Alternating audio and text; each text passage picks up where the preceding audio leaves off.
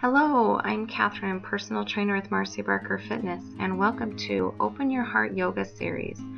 Begin by inhaling, bring your arms up overhead. Exhale, forward fold, bringing your arms behind, opening through the shoulders and the chest. Half lift, exhale, fold. Walking your feet back and dropping to your knees, coming into a small cobra, lifting your feet up off the mat, opening through the front of the body. Exhale as you press back into downward facing dog.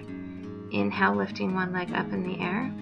Exhale as you draw that foot up in between the hands. Inhale, lift up into warrior one. Exhale, warrior two, bringing the arms behind. Again, focusing on opening through the heart and the chest.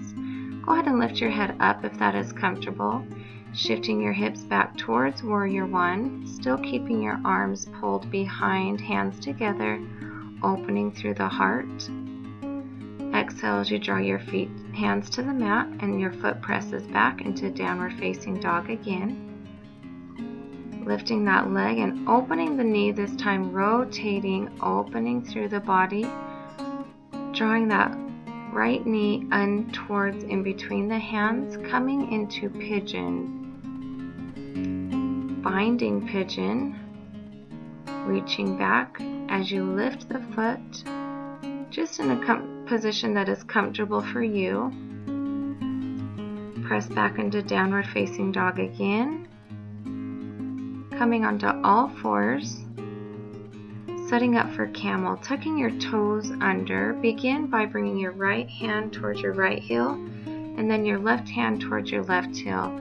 Letting your head fall back, opening through the front of the body. Coming back into all fours extending your right arm and left leg long and reaching back to hold onto your toes. A gentle spinal twist as you open through the body. Now we will do the same side. Right arm, right leg extends long in half moon pose and binding, reaching back, holding on to the toes.